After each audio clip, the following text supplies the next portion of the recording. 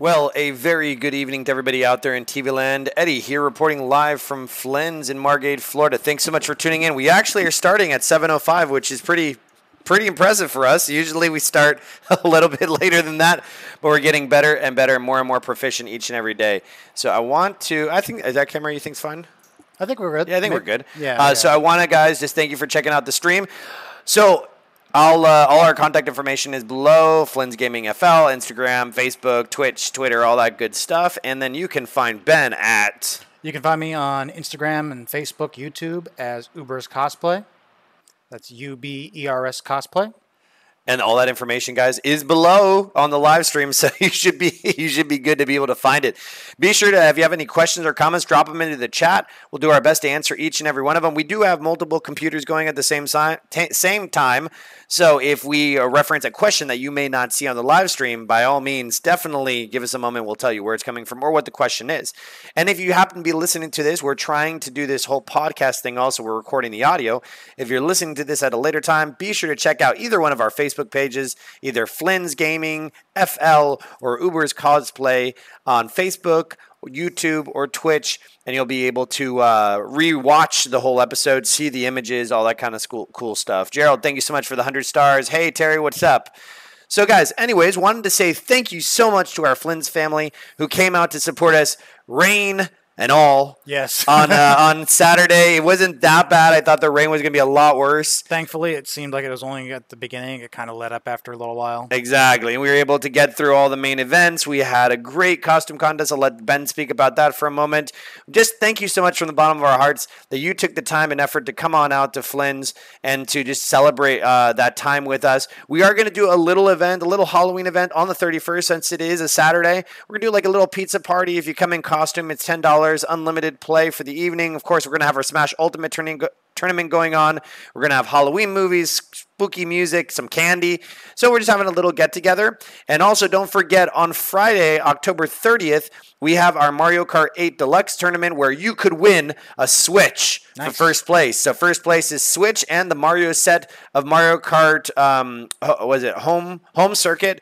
And then second place is fifty dollars, and the Mario set for Mario Kart home circuit. And then third place is twenty five. Fourth and fifth I pass it to Flynn. So enough commercials, Ben. So any thoughts about the uh, the costume contest or anything like that? It was really good turnout. Um, I was expecting I was expecting maybe 25 people. we got like 40.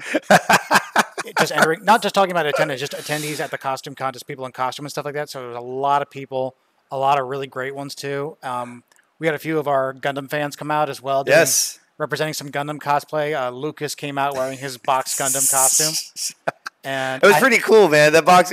I wish we had. I wonder if I could find a photo while you. While you're We'll, talking. we'll have Yeah, to put I'll- something I'll up after it. the Yeah. fact. Yeah, but um, I lo- I I actually give him my judges award. yeah, yeah, yeah. I, I loved how well designed it was for something so simple. Like you don't think much about cardboard, but he was able to move really well. Like the skirt armor all moved and everything.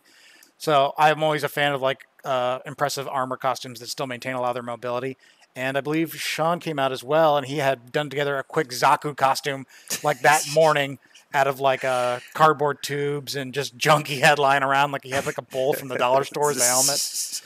But uh, I love that because it's like I go to like big cons like MegaCon and like all these ones all over the country, and I'm lucky to see maybe one Gundam costumer, much less two. so I was very happy with that. The Gundam came out in full force. And you know, we would have had a few more. I think I know that a couple people were held up with uh, some other outside things. So yeah, and it's difficult for people to get out with everything going on and everything. But um, I want to give a shout out too to the other judges. Oh, heck they yeah. did a really good job. We had- Megan we had- and we had Vivi Chibi, my Megatron cosplay, Yep. Imaginary cosplay, all came out.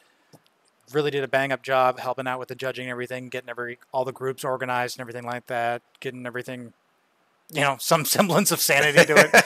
no, it was really cool. I'm super stoked to see where it goes with the judging Mm-hmm. and to be able to break it into categories. So that's a recap of last uh, or the Saturday actually Saturday's cosplay event. So. Once again, you're on episode 13 of Let's Talk Gundam. If you're listening to this online, well, by all means, thank you so much for checking us out. Thank you so much for listening as well. Terry was saying was looking through pics like all day. Here were some, uh, there were some awesome costumes. I agree, Terry. Play my play my wins. What is up, man? I also have a bunch of photos that I'll be uploading today, so be sure to check our Instagram, our Facebook. I'm gonna do my best to tag everybody as much as possible. So let's get into the nitty gritty. Of course, guys, our Gundam uh, Flynn's Gundam Club is growing each and every day. By all means, be sure to check out that website. Be sure to check out that page when you get a chance. It's Flynn's Gun or Flynn'sGaming.com slash Gundam. All the information is right here of the uh, benefits of being part of the Gundam Club, all the sorts of discounts and perks. lots of perks. All you got to do is go to Flynn'sGaming.com slash Gundam, fill out your name, email, phone number, t-shirt size, mailing address, and how you would like to pay, and we'll take it from there. So that's just a little uh, a little shameless plug right there for the Flynn's Gundam Club here at Flynn's, and of course Thursday nights, our group is getting bigger. Yeah, Uh, we're, we're we're hurting for that expansion because we're run, we're running out of seats. we are. But still, guys, don't let that stop you. I want to make sure that everyone feels included. And we're not just talking about Gundam. People do War. Sean does Warhammer over there. So Yeah, he Sean, I- brought like, the whole drawer out of his. Oh, heck yeah. Sean, thanks so much for the stars. Also, I saw that. He brought his whole drawer. We got Warhammer. Roxy works on usually D&D minis or different props. I Someone mean, I saw bringing in like the Megami device kits. yes. stuff like that. Yes, exactly. So all are welcome, guys. Don't ever feel you might be snagged into a video that I'm making for the night. So, you know, there's always a chance of that happening. Of course, we have beer and wine, snacks, drinks, sodas, all types of cool stuff. So, Ben, what do you have in store for us this evening? Well, now that I have access to all of my collection and stuff after the move, Yes. I wanted to kind of give a little more direction to some of these episodes. So this episode, I wanted to highlight some of the more unorthodox Gundam's designs, Okay. like um, And by unorthodox, what do you mean? just stuff that you look at and it's very different from typical Gundam stuff. Okay. So you want to just jump straight into it? yeah, let's go ahead and Okay, jump perfect. straight into it. We Let's see what camera two looks two. like. Oh, bam. Camera two. I was working on cleaning this guy up briefly at the last build and paint night. This is the Master Grade Turn A Gundam. Ooh. The Turn A Gundam is actually, I believe, this is the only Gundam that was designed by a non-Japanese person that was in a mainline show. This was actually designed by Syd Mead. Okay. Syd Mead is a very famous designer. You probably know him from Blade Runner. Like he Huh. did the designs of the spinner cars. Really? Or if you remember the movie uh, Short Circuit, of course. With he BB-8. designed Johnny Five. or Johnny Five. Sorry, Johnny But he's Five, also Johnny done Five. stuff for Star Wars. I think he did the. Whoa, A- he was the one who did the AT-AT design. Really? He worked with Ford and did a lot of concept cars, concept cars, very futuristic stuff. Huh. But his his his uh, style is usually colloquially referred to as futurism. It's kind of like very hard sci-fi mixed with a, a splash of Art Deco, and you can see that reflected in this design. Heavily. It's it's very Gundam in the, the color scheme, but it's very unlike Gundam in the the design is all very geometric, very flowing lines. And you can see just like at the back of it is almost completely bare, but there's all these mechanical details in the back of the leg. That's actually like its engines and things. But like I said, very big departure from previous Gundam designs. And this was actually a big centerpiece of the Gundam anniversary they did back in 99. That was the Really? Gundam's 20th anniversary. So this was their centerpiece for that anniversary. Yeah, this was like they did a big push of Gundam back then called the Big Bang Project, and Turn A Gundam was the centerpiece of it. They did a couple things to celebrate this anniversary. They had Turn A Gundam, which was kind of a big deal because Tomino, the creator of Gundam, came back and was directing the show again. He had kind of taken a step back for a while, so this was kind of unusual for him to come back and direct a Gundam again. And it was a Gundam that was not directly related to the original series because he had directed the original Okay. Zeta, Double Zeta, and Char's Counterattack, Right. and uh, Victory Gundam as well. But he hadn't done Wing, X, and all those other side stories, G Gundam, and everything. Those were all different people. He wasn't really involved. So this was So he like started it, took a step away from it, yeah. The studio kept going with different directors and different people, and then this time he came back. and this time he came back, and it's very. Tomino has a very particular style of storytelling. Like um, his things is Gundam when he's directing. It's never really about the robots and the conflict and everything. It's just about the characters, and very much so with Turn A Gundam. Um, so this happens to have robots in it. it happens to have robots in it, but even this even this main unit, the Turn A Right. Gundam, plays a very small role in the story as a whole. It's much. It's a very character driven story. And Huh. to get a little into the story, um, it's far, far distant future, but the world has basically been destroyed by a cataclysmic war that has Okay. like it's so it happened so long ago and it's so catastrophic that nobody even really knows what happened. They just call it the dark history. And Because everybody's dead from that time. there are people alive, Okay. and there are even some people that were alive from back then. They've Right. just been in cryo sleep, but it's it's never really dealt too much into. Like there are people that remember it, Okay. but it's so long ago, and they've been in, s- for sleep for so long they've almost gone crazy. So they use like the ambiguity of it, like for Yes. suspense, kind of like you wondering what happened. For for reference, the idea is that at some point in the distant past, all the Gundam universes were happening along the same timeline. Okay. That's the basic idea for Turn A Gundam. Okay. Something happened and everything kind of collapsed, and then centuries, centuries later, Turn A Gundam happens. Okay. All right. So they'll be going around on Earth and they'll be digging a hole and they'll come across an old mobile suit, which will be like a Zaku. And it'll just they'll dig it out of a mountain and they'll say, "What's this thing? I don't know. It's some kind of giant robot. Let's see what it does." But um, for the idea is at, at the story the pl- at the point the story takes place, Earth has regressed so far back that they're only just getting back to the steam age. It's basically like their technology level is ah. America in the 1920s. They have like biplanes, steam powered ships and trains and that kind of thing, but no high technology. And there are still advanced humans with technology living on the moon, but the moon cannot support them. So they only have small amounts of people alive at any time out of cryosleep, and they kind of rotate out. right. And they've been waiting for the Earth to recover from this horrible war Right. so they can m- migrate back to Earth. And they go back to Earth, and there's still people there. And they're like, okay, so how do we reintegrate our advanced society with what is basically a, they consider backwards savages at this point? Yeah, like 1920s, right? And they send a few people down as kind of spies, and the main character Loran is one of them. And they just integrate into society for a few years to see, okay, go out there and kind of feel it out for us. Tell us if these be, if they're ready for us to come back.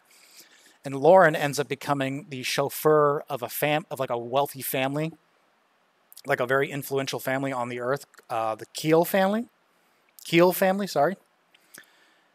And about a year passes, and then the moon, des- the moon people decide they're going to come back. But the moon people have their own factions as well. There's a very militaristic faction, which is kind of like the descendants of the warrior race of the uh, the warrior, Right. and so they want to just like the Klingon. Yeah, they're basically like that. They're, they're going to come in and like, oh, oh, we're not gonna we're not gonna deal with all these savages. Oh we're just gonna gosh. take over the earth again, and it'll be like the glory days. And then you have the Diana Force, who is Right. like the, the the forces loyal to the princess of the Moon people that want to kind of live in harmony with everyone, but she doesn't have really full control because she's just a young girl, and she's being used as a pawn by other people in their government and stuff like that. So that the story is very much about this conflict between these different forces. Um, and for a simple way to put it, it's kind of like a story. It's this. It's basically the the a tale of two cities with giant robots in space. Because Di- Diana, the Oh. queen of the moon, when she comes down, it turns out there's somebody Hang on, living. I'm gonna, I gotta pull. Go ahead. He's got You keep talking. Go ahead. You got to plug in your battery. He's got to recharge his laptop. Sorry. So the family he's working for, the Keel family, there's um, the daughter of the family is almost an identical twin of the Moon Princess Diana, and at several points in the story, they so at one point the girls are out there washing their clothes and stuff, and they're at the river, and the Gundam just takes its hand and pulls the, the soil away to make like a channel, so the girls can go ahead and wash their clothes in the river, but not get swept away by the current. So little stuff like that you wouldn't expect a suit to do, but there's also some other funny stuff. Like at one point they have to transport cattle, Oh, is that what you get? A little so you give cow? a tiny little cow that comes with this kit, and it actually fits inside that chest cavity because that's where they carry it in the show. So he picks up the cow and puts it He, into his he chest. opens up the chest, and there's the cow in there, and that's how they get it around when they have to. Is this it one around. cow, or is it like a bunch of cows? It's only one in the in the scene, but just, it's it's just neat little stuff like that that you don't typically see. It's kind of like using uh, oxen to pull like a Land Rover, you know? Exactly, it's, it's like you're using this giant robot to move, you know, simple cows around.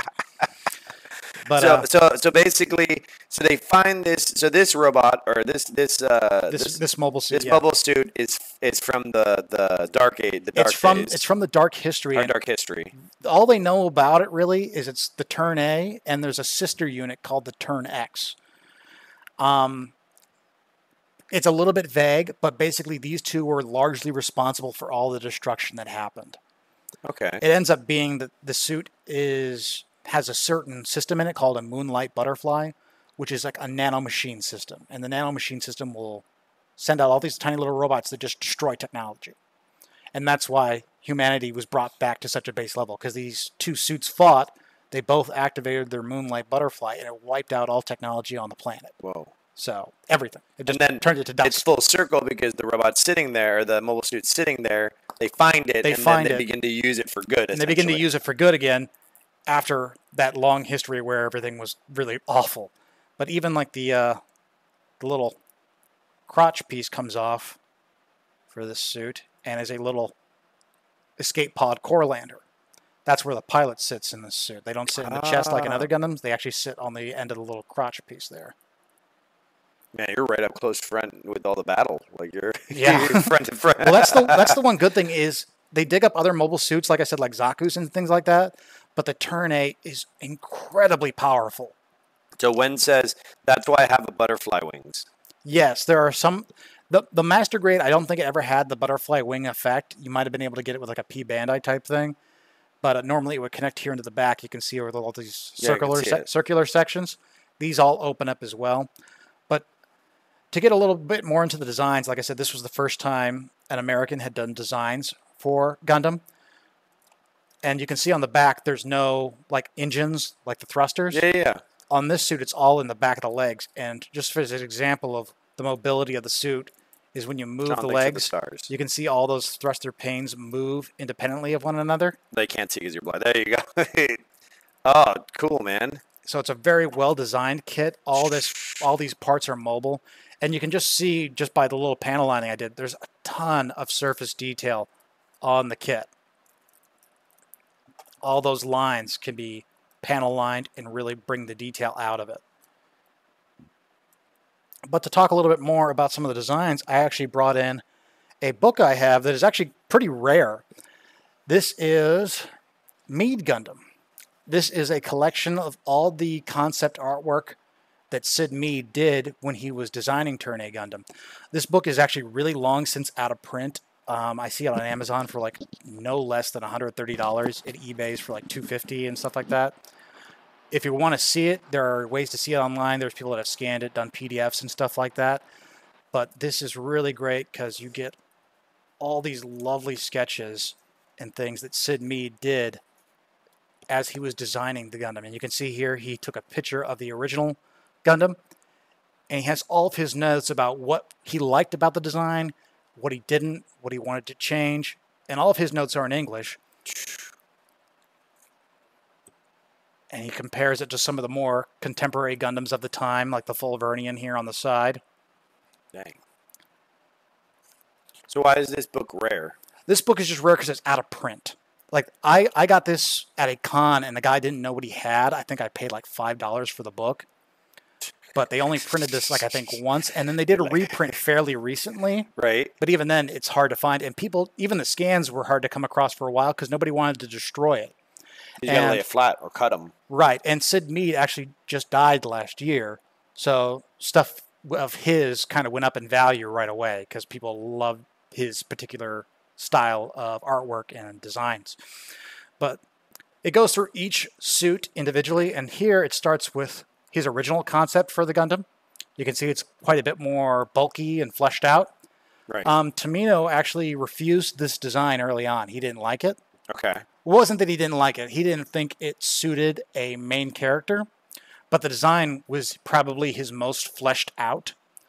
So he went back to the drawing board on it and started coming up with something more akin to the Turn A Gundam that we have here. Let's see if I can arrange this camera a little bit better. Yeah, if you want to bring it closer to you, bring it over. Let's see if we can just do it this way. Well, it's backwards, so flip the book upside down. Perfect, dude. Perfect, man. You're good. Love it. Right. Yeah, you can see here, so he's fleshing out more of the design. Dang. And eventually he ended up on something closer to what we get in the model kit. Hang on, let me go through these other sketches.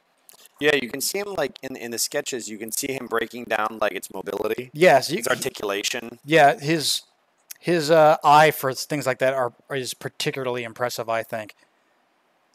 But it wasn't just, like I said, the Turn A Gundam he designed. Here is where it's getting more concrete. And I'm flipping through quite a bit of this, but everything is in this book from the initial concept.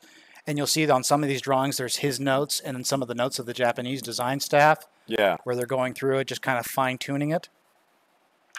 And here they're breaking down. You see how all the panels on the back and everything are put together. One says that's why they have Sumo Gundam too. Yes, you'll see. We'll go to the Sumo, which is the next one, and they liked that design so much they actually reused it as one of the enemy suits, which was the Sumo. Yeah, but here we'll flip back to that. Here is the Sumo. The Sumo was the originally the concept for the Turn A Gundam, but uh, just reworked to work as an enemy suit because they liked the design. They just didn't think it suited a hero character where it's got that very flat, round head. Yes. And then you have some of the more unorthodox designs, like the flat, which is a, basically like a cargo hauling mobile suit almost. Like this looks like something that would be right at home in Star Wars, I think. Oh yeah, hundred percent. Yeah, and you can definitely see some of that, some of that very Star Wars look in some of these designs. Very good eye for detail. He's got that very. Uh, he was involved in a lot of the designs for Tomorrowland.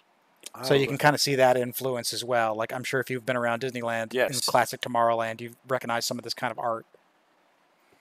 And this was one of the other suits, like the ones that attacked in the first episode, was this giant monstrous suit called a Wadom. And it's like a giant bipedal, almost World of the War, World, War of War the of the World style robot, where it's hugely alien. It- It's va- it's only vaguely humanoid. Yeah, but a very cool. So when they invaded, when the people from the moon moon invaded the Earth, and they arrived in those, you know, humanoid type, you know, mobile suits, Mhm. did they think that they were alien or human? They thought they were monsters. Oh, monsters. And they're out there like with guns and muskets trying to That shoot at sense these 'cause they're thinking like 1920s, so you know. Yeah, they oh, okay, that makes Like sense. they, they tried to fight to try to fight them off in the beginning with biplanes, and it goes about as horribly as you'd imagine. Dang, that would be. Yeah, It's like going against tanks with like sticks and rocks. it's more or less what they do. It's it ends up being quite a rout. But yeah, um, if you can get your hands on this art book, especially if you're into Syd Mead's designs in general, even if you're not a fan of Gundam, I think this is a great book to have. I got very lucky to get it when I did. Um, when I first got it, like I said, it had never had it only had the one printing. It's had a second printing now, so it's a little more common. But at one point, this was like a three hundred dollar book. It was really hard to get. Build Divers mobile suit now. When's? uh, What are you referring to? He's talking about there's some of these designs have showed up in Oh, the Bill In some of the new shows. Oh, okay. But yeah, Mead Gundam. If you guys want, if you're in the, if you want to come to Build and Paint Night, mention it, and I'll bring this in, and you guys can take a look at it. And like I said, don't be too scared of the price because even though it's hard to get, um, there are PDFs where people have scanned this online now, so it's easier to see. But very cool. I love seeing like the thought process behind his designs because I've I've been a fan of Syd Mead's even before Gundam. Like I love Short Circuit, like Johnny Oh Five's yeah, Johnny Five. Johnny Five's probably my favorite movie robot. Like Johnny Five. so Do they cool. have a Johnny Five kit? I wish they did. I think there's like 3D printed ones you can get, but that's about it. If there was, I'd grab one in a second. Oh man, what talking about talking about model kits, talking about model like, you know, in terms of like classic characters of models that should be created. Um recently I ran into the Thousand Toys version of um, the Iron Giant. Oh, the yeah, diecast version of it. that's a very cool robot. I mean the too. articulation is utterly amazing. But yeah. nonetheless, good history lesson. yeah, but Turn A Gundam uh, came out back in '99. It's I believe 49 episodes, and then there's two compilation movies if you want to see if you want to just see a condensed version as well. Um, I don't believe this is streaming, but if you wanted to buy it, you can get it from Right Stuff. I don't believe it has a dub. I believe it's only subtitled. But a very cool, very interesting chapter in Gundam, and a very big departure. Like I said, it's not it's not your typical fare. It's very much like um like I said, it's that old timey kind of somewhat contemporary setting of the 1920s. So you'll see a guy driving around in a Model T with this thing walking alongside him, and nobody bats an eye at it. It's just something they live with in that world. Gwen says that he's going to wear gloves when he turns the page. Oh yes. Pages. Just The other good thing about the Turn A Gundam is this was kind of an oddball design, even when they made it in a master grade. right. This was the 100th master grade, so it was kind of a big deal that they would do. Not even just that they got to 100, but that they picked such a strange suit to do. So when you got it, you didn't just get the instruction manual like you do with every master grade. They gave you this neat little art book from Turn A Gundam. Let me go ahead and bring this over here yeah, as well. sure. So this art book is basically like the road to the master grade. So you get some really nice fold out artwork in there. And you can see master grade number 100. It was a very big deal when this game came out that they even did this because for years, no one, everyone was convinced they would never do a master grade of the Turn A. The design was too weird. It was too un-Japanese. They would never do it. But some nice breakdown of the posability of the kit. More of Syd Mead's artwork. So did And the they design- did they choose to do this kid as a hundreds model because of Syd Mead? They they they did it specifically because it's like I said, it's the oddball, but it's also one that was directed by Tomino, and it's so unique. Like I said, they've never had anyone else come in like this and design a suit. They knew they were going to sell out. They- well, it's a very popular suit. Um, the show is kind of divisive. There are some people that like it, and there are some that's like it's too not like Gundam. I don't like it.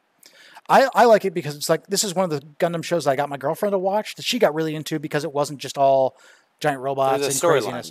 It was really interesting and the characters were good and the art was really great. This was actually the last Gundam show to be made with traditional ink and pen cells. what? After this, everything went to digital ink and paint. So if you're if you're one of those person that goes out and collects anime cels, Like a this- purist. yeah, this is the last Gundam that was drawn. Everything else after this So was you digital. can find the cells. you can still find the cells of this, but after this, is like if you go to Seed, Seed was all digital paint. There's no drawing cells for you to get, nothing like that. So ah. Turn A, this was like the end of the era of traditional animation. Interesting. But let's go ahead and go through here. They have like a little page with some of the character designs. Like I said, very robust cast, all very interesting. Even some of the bit characters. That's Princess Diana. Actually, it's Princess Diana dressed as Lady Keel. 'cause Like I said, because they look identical. And this is like a little comic making fun of, oh my god, they finally made their master grade of the turn A. But here you can see like the artwork, very reminiscent of the turn of the century, where it's like the uh, person in like a ticker tape parade, news parade type thing. Yeah. and just some of the other model kits available. These are some of the original model kits that came out when the show was running. Hmm. And a little advertisements from the other kits coming out. But yeah, I'm not sure if they give you this art book if you were to buy the kit now. This might have been like an original pack in, but I got this when this kit first came out. I jumped right on the turn. In 1999. Um, the 1999 was when the show ran. The kit itself, when did this come out? Mm, I want to say 2005. No, 2007 is when this came out. 13 So- years ago. Yeah, it's it was a while ago, and it took them a while. Like I said, when it came out, nobody thought that the Turn A was ever going to get a master grade. Hmm. So, bit of a shock. How are we doing on time? We're doing good. We have uh, we're, we got 20 minutes or so. How how is it? So with those stickers that come with it, decals? It comes with some very nice uh, heat transfer decals. So it's not stickers. You attach these to the kit, and you just rub it with your finger, and the heat transfers it to the kit. They're better than stickers, and not as hard to apply as water slide decals. Most master grades for a time came with these heat transfer decals. I'm noticing they've kind of started to steer away from them, and like the Verkaz will always come with water slides, but the heat transfer ones they're not doing quite as often as they used to. okay. What else you got for us? Um, well, speaking of Turn A, I thought we could segue into one of the kits you guys got on the recent order Awesome. that people could come in here and buy. Stay There's tuned to the end, guys. We're going to show you some kits that we have in upcoming orders that have been already Yes. secured and they were on their way. But this is one that is actually from Build Divers, but it's based on a design from Ooh. This is the Wadom Pod. Now, if you Don't remember, we have its pilot? um, if you do you remember the guy that came in and had the girl We robot? Yeah, you had that one as well. Yeah, yeah. But uh, remember how I said the moon people come down and they attack with these giant walker Of course, robots? of course. This is one of those, but it's a character in Build Fighters has taken that kit and customized it to her own style. So it's got different colors, it's got a few different accessories, but this is the Wadom from Turn A in a high grade size. Now, the Wadom in Turn A is like twice the size of a normal mobile suit. It's hugely tall. It's like a monstrous mobile suit. So in high grade, you can just see by the size of this box, even though this is smaller, this is not master grade sized, it is a very tall kit once it's assembled. Dang. Um, but this was also designed by Syd Mead. You can see very much the same design cues, the same kind of styling with the armor and the lines. Did he do the design on Short Circuit? He, yeah, he did the design for Johnny Five. No, no, no, no. I mean not Short Circuit. My bad. Batteries not included. The little robots. Um, no, but the battery's not included. That was the same robot from Short Circuit. Oh, because the head, just the different head- parts. The head looks. It was that the exact same prop robot. It was? It was the exact same. one. They just they had leftover parts. The studio made another movie. dude killer man. It's weird that I even know that. Yeah, it's because the head doesn't the head look like the It's it's the same eyes. the battery is not included. Yeah. Ah, But um, all right. to open this guy up, Segue. if you're a fan of Turn A too, this was a very much this was a cool suit to see in the show because this was another suit that everyone thought was never going to get life again as a kit.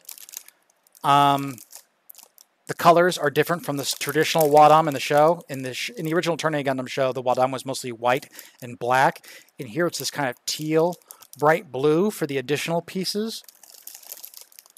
White and black. So it's a very interesting color scheme. And you can see how large the parts are. This is a very large kit. Let me go ahead and get the instruction manual out to show you guys. Set this aside. Yeah, but you can see we had people in here building the kit of her, May. Yes, Oscar was So building. they have a model kit of just the girl as Oscar well. was building her, and he put it in his computer case. Right, but you can see you have the regular Wadom, and then you have some of her additional parts that she made for the suit, which Right. is this leg armor and this skirt armor in the back. Go Dude, ahead, killer, open this man. up. The colors are like pop, like if Yeah. they're for a high grade. Honestly, if someone doesn't buy this, I'm probably end up buying it for myself. So be in a hurry to get it if you want to come grab it. But yeah, you can see there it is posed alongside the May, the uh, mobile doll May suit as well. But a very atypical Gundam. Like it doesn't look like if you were to see this on a shelf, you wouldn't think this was from no, Gundam. No, no, no. It's got like these tiny vestigial, almost like T Rex tiny arms. Like a crab. Yeah, and the all the weapons, like its beam cannons and things, are built into the head. It doesn't carry any of its own weaponry. But a very cool design. I don't think we we just opened the box for this, so we don't even have the price on it yet. No. But if you guys are interested in Turn A Gundam, and you want to have something very unique on your shelf, or if you're into build divers, this is definitely a kit worth picking up. I think we got two of them. I Um, think so, but I think one was already on our gun. I think our Gundam Hangar. I think I think one of them might have been the club member had order. been purchased one, and we once again, guys, we try to keep a nice assortment. Yeah, we try to keep a variety. And I saw this one come up, and I'm like, I know there's people that come here that are into Gundam and would love to see something from Turn A Gundam. So I wanted to make sure we got some of these to show everyone. Beautiful. But yeah. The Wadom Pod, definitely worth checking out. I think, like I said, uh, you'll post up on your Instagram or something when we have everything priced out and ready of to course, sell. hundred percent. But if you guys come to Build and Paint Night, if this is still here, definitely worth checking out. I think it's a very cool suit. If So- it's still here by then, I might get it myself. So, So speaking about kits, so we have a couple upcoming orders. Unless Right. there's something else you wanted to add.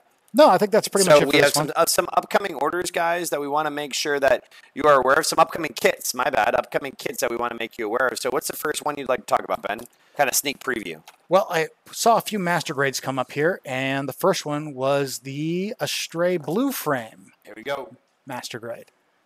Yes. Ooh. The Astray Blue Frame. Um, Astray is a side story of Gundam Seed.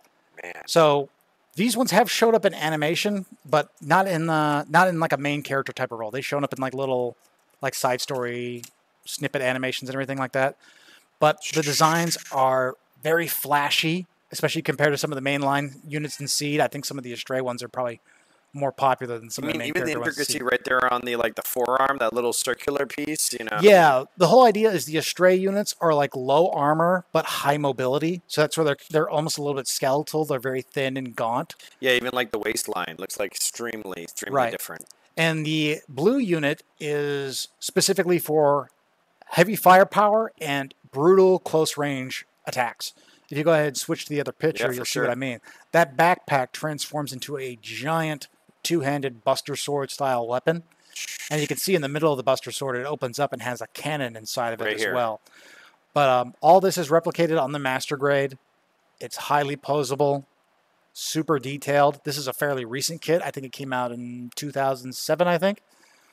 So highly posable, very cool, worth checking out. If you guys are into Seed, this is probably one of the more popular. Is that a sword. I see? He's got little daggers on the side. It seems it seems almost Ah. ridiculous to carry daggers when you've got a sword that Yeah, large. let me see. So, oh, okay, so yeah, you can see him right here yeah, on both sides. yeah, he's got two That's like for really up close and personal. Yeah, that's that's when he, maybe when he's got to throw away the sword for some reason or another, or he needs or he can't fit it through a door or something, perhaps. Shh, But yeah, this is one we have coming in. So if you guys are a fan of Seed, specifically some of these designs from Astray, go ahead and pick this one up coming in. awesome. And we also have one more coming in. Oh, let me zoom out. Yep, zoom out. This So is the Master. Grade Psycho Zaku from Gundam Thunderbolt. Ooh. Yeah. This is a very, very big kit. It's a Verka kit. I've mentioned Verka in the past. Yes, you have. Verka is specifically designs done by Hajime Katoki. Uh, Verk, Verka kits are always pushing the limit of what the medium of model kits can do. You can see on this one, like all the joints are covered with like a fabric. I don't know if you can zoom into like Yeah, let's see. yeah, see on the biceps and around the pipes on the waist. right it's all there? covered with like a fabric covering. Does this orange part? No, no, no, like where the joint is. Oh, see right how like that crumpled paper look? Yes, yes. It's actually like a cover that goes over the joint. What? Think of it like a like you ever see like the space suits the astronauts wear. Yeah. It's that kind of material to help cover and protect the suit. Um, in the lore, Thunderbolt. Thunderbolt is not is part of Gundam, but it's like a retelling. It's not really canon, but it's the one year war. But it's like one year war with a super hardcore technology feel to it and a very brutal like story. The story is very violent and it's very heady. So I can um, see here, is that the wrinkly, the, the, the material you're talking about too, right there? Right. And in the context of the story, they're fighting in all these areas where colonies have been destroyed and there's wreckage everywhere. So they have these coverings to keep sensitive parts of the suit safe from this debris. But if you back it out a little bit, you can see that this suit comes with a ton of accessories and weapons. That booster backpack out of his back is gigantic. It's like probably over a foot long, I think, when it's fully assembled. But this is one of the biggest master grades you can get. Ton of parts. I think this might. This is probably just behind the FAZZ in terms of number of part count. But uh, you can see all these sub arms on it as well to hold all those additional weaponry units. Like I said, they kind of went with a more realistic thing. So the suit doesn't just have its two arms; it also has all these sub arms off its backpack to hold additional weaponry. Okay, okay. So like this right here, and two seconds. So this right here is like the backpack Yeah, that holds the arms, that hold the weapons. and it's it'll, the arms will do things like in the show, like the arms will reach out and reload his guns for him, or they'll just hold out additional guns so we can fire multiple weapons at once. All kinds of things. this is controlled by one pilot. it's controlled by one pilot, but in the context of the story, you can see how complicated the suit is. It's so difficult to control that they, no normal person could do it. And there's actually a division of soldiers in Zeon who are soldiers that were maimed in battle, had either arms or legs amputated because they were hurt, and they had them replaced with cybernetic parts. And the cybernetics are pretty crude, like it's just like a claw. They can't really do anything with it. But this Zaku, what it can do is it can link up to those nerve endings directly, and it can operate as if it were your own limbs. So there's a character, um, the character that pilots this is a guy called Daryl, and he's by the end of the show he's actually become a quadriplegic. He has no arms, no legs. They were lost in battle. But they hook him up into the suit, and he's strapped into it like to where he can't even move, basically. But his arms and legs, the stumps, go into this control mechanism, and he's able to move the suit as if it was his own body. So no normal person can handle this Zaku, but Daryl, Because he can use control, he can probably move multiple parts with different nerve endings. On yeah, he can control it as if it were his own body. It gets to the end of the show, and um, the battle's over, and he floats out of the suit, and he's just he's just a torso. And the guy sees him, and he's like, "You're kidding me! This this guy beat me. He's barely even a human. There's nothing left." Man, that's crazy. You know, it sounds like one of those movies where they use the mind. The body is like no no longer useful. Mm. Yeah, they like- tap into the mind's conscience. Very similar to that, but like I said, Thunderbolt is a is a very brutal show. Um, Okay. Like I said, it's very violent, so I don't really recommend that for younger people. But um, if you're looking to get into like a more hardcore Gundam, where the technology is really more fleshed out, the settings a little more hard edged than the original Gundam. It's not like that 70s super pastel everything. Like the character designs are kind of dated and things like that. Thunderbolt is probably a good gateway for people that are looking to get into Gundam in a more modern sense. Hmm. And the model kits are very heavily detailed. I mean, you can just look at the outside, even discounting all the weapons. It's got ton of verniers all over Right. it. Um, tons and tons of little detail. And this is actually based on the Master Grade 2.0 Zaku Mhm. as well.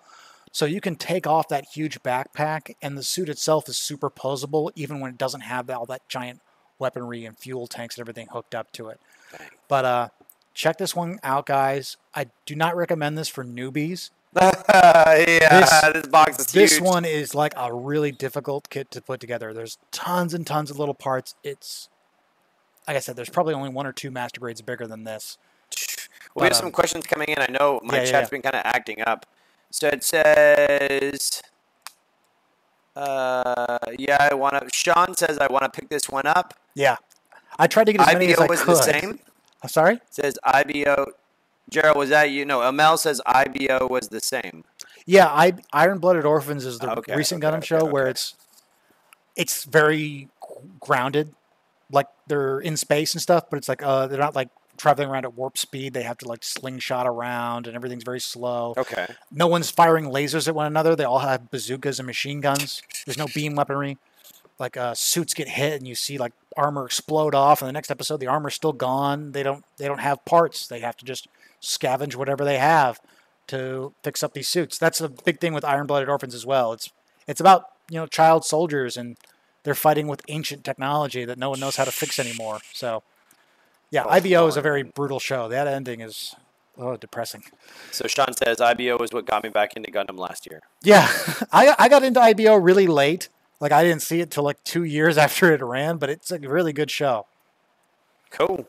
Well, so yeah, that's some of the things we have coming up soon. among many other many other pieces. We're getting more and more uh, solidified thanks to Ben hel- Ben's help in trying to get everything uh, lined up, ordered correctly, shipped on time. And then once again, you guys, um, with what's going on in the world today around us, shipping is delayed in some facets. Um, so it's definitely interesting. And um, yeah, so I'm super stoked to see what comes in and see what everything comes about. But a uh, Let's Talk Gundam would not be the same without some interesting snacks. So we'll end the show this way. Ooh, This- yes, I almost forgot. Yeah, we'll we'll end it a little differently this time. So I kind of went to our Oriental market, or I didn't kind of, I did go to the Oriental market, and I found some interesting snacks for us. So the first one I found was tempura Ooh, seaweed. that's interesting. So why don't you pop that open for us, Ben? I know you can't eat seafood. Does seaweed count? I think I'll be okay. Okay, I as long as it doesn't, s- you know, s- make the whole place smell like fish. I think. No, we'll be I think. I think it's okay. So if you're like seaweed, we've been asked about seaweed before here at Flynn's. I'm like, you know what? It'd be interesting to have on. They recommend you could eat it alone. You could put it, you mix it in noodles. You can eat it as a snack. You can eat it everywhere. Uh, eat in your car. All right, cheers. All right, cheers. You know what? I kind of like that. I agree. That's actually pretty good. Very actually, you know what, dude? It's only it's only six percent sodium. It tastes a lot saltier than it is, It smells salty. That's for certain. And it's half a bag. That's not bad. That's not bad at all. It's a half a bag. Man, Get a glass of water. it does. It is a good laugh. Man. Oh man, holy moly! I don't know what it is. Yeah. So, um, Oh my gosh. what I was trying to do with this episode was bring in some of the more obscure suits Right. that people might not know about.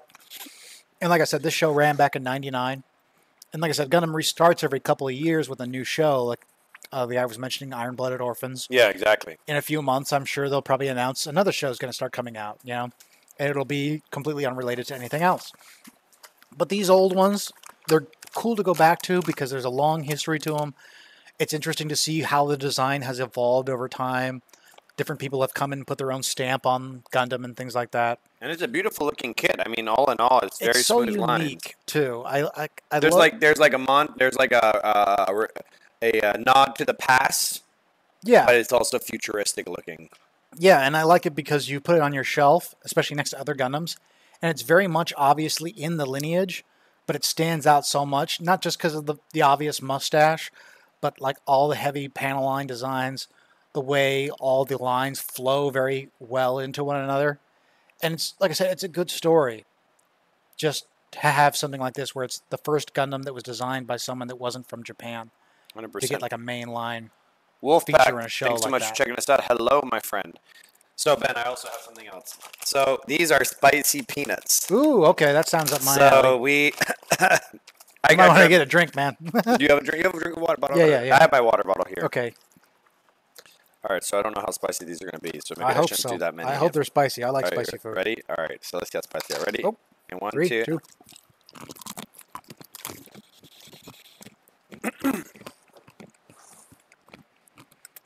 Eh, a little bit spicy, not much. They're not much. Not spicy as I thought, but definitely interesting. See, my idea of spicy is like put whatever will kill me and then just back it off a little bit.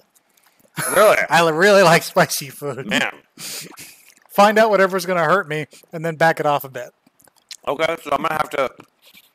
That's gonna be my next challenge. So, uh, one says MG turn X. Yes, I mentioned that this this is a pair of units. There's the Mhm. Turn A and the Turn X. The Turn X is these two suits combined together. Right. Where they're responsible for wiping out technology. The decimation of the human race. Yes, and there was a guy that brought in that kit at some point here, and they made a master grade of that as well. Really? A while after this, but same thing, like a very unique design. The Turn X is even stranger though, because the Turn X, all of its body parts will shoot off, separate, and attack you from different directions, like independent units. So he'll shoot off his arm, his leg, his backpack, his other arm, his other foot, and they'll all fire at you from every angle with different weapons. And then return back to you. And then they'll return back to him. Yes. That So- wasn't the kid that Varun had, right? Uh, I think it might have been him. With the like this- the different attachments that come on to the sides of it. Like he had it last week. um, I don't think it was that one. I can't Oh, recall okay. which one that was. But it's, And then when was that released? When was that? When was the X released? the X was a few years after, and that one was a shock too because So nobody if we find- expected. You got a picture of it? I think it's in here. Okay, let's take a moment. Let's see if it's in here. Yes, the Turn X. Yes, there we go. Camera two. That's the Turn X. Ah, okay, You can see it's got the X across the chest. Yep, I see it. Dang. Yeah, but that's like the enemy design, and people were pretty shocked when that got a kit too because uh, that's even more strange of a design than the Turn A was. Yeah, when they're going into when they started to hash out the design, the second phase, where things have been hammered out. You can see all the detail there in the backpack. That's the kind of the similar thing. The, the thing that the Turn A units have in common is they don't tend to carry their weapons. They tends to all be built in. So you can see there, he's got this backpack. He's got a ton of weapons inside of it, and they just all kind of slide out. You see, he's got a, a rocket launcher, a handgun, a beam rifle. Killer, bro. Yeah. Killer. We'll have one more. So something sweet to end the show with. So I found these, Ooh, what are these? And you can take whichever you guys, whichever you would like to take home. I think I'm going to take the spicy So they're ones. boba Ooh. sesame. No, they're actually individually oh, packaged. Oh, okay. I thought they were like, so these look good. these are very interesting. Boba milk tea grain snacks, Oh, they're like little, like they're like little squared out cookies. and they're actually soft. Very nice. Oh, they're chewy. Man, it does taste like boba tea. does. That's you know pretty good. What, you know what the texture is like? It's like a fig Newton. Yeah, it's like a fig Newton crossed with like a little cake. Hundred percent. We always like to keep it different here. So if you have an Oriental store or an Oriental market in your neighborhood, by all means, go and support them. I know we have a bunch of them local here around Flynn. So, anyway, guys, any last questions? We're gonna give you a minute or two to get those last questions in. Comments. Wen says get some Chinese mochi. We had mochi one one week. We definitely had one mochi one week. Yeah, I am a fiend for mochi. I love mochi. Sean says I am loving they. I'm loving they build anime is getting love. yes, the the build the build shows are great. Um, even just disregarding any of the story or anything like that, it's just great because they pull in designs from other stuff. Okay. So you'll see like designs from fairly old Gundam stuff. Like I said, the Wadom. Nobody thought the Wadom was going to come back. But in a Build Fighter show, it's like, oh, this is so unique, and the character can make it, and that be irrelevant. And then you get to see a suit that didn't get to do too much back then do something now with modern animation. It's very neat to see. Killer.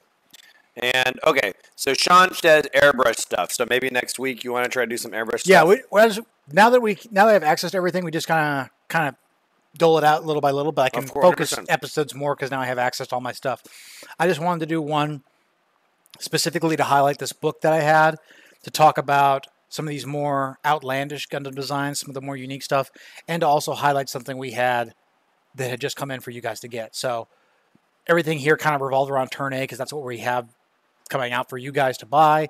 And it's also just a cool focus on stuff that's maybe some more recent fans wouldn't know about. Do you have a question on yours? I see on yours, Kareem, to the say. Yeah, but the guy's already gone off. He was asking about my opinions about Gundam Age, which is another Gundam side story, Okay. a more recent one, and my opinions about the designs and the possibility for making those into costumes. So if you guys have any questions or comments, be sure to get them to us throughout the week. And then Ben has been doing a great job, kind of like curating our uh, channels, our excuse me, our live streams. And once again, I'm recording the audio, so if you're watching this at some point in time or listening to this at some point in time online, uh, you know, by all means, check out our live streams at Flynn's Gaming FL and Ubers Cosplay.